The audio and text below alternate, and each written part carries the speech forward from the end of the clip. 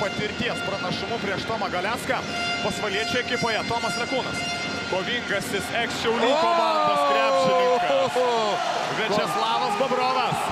Jo Bobrovo įspūdinga verpstė. Lietkabelis ne pirmą kartą neapsigina prieš paprastą varžovų pick and rollą. Na, bandė su pick and popu įveikti varžovų gynybą. Pas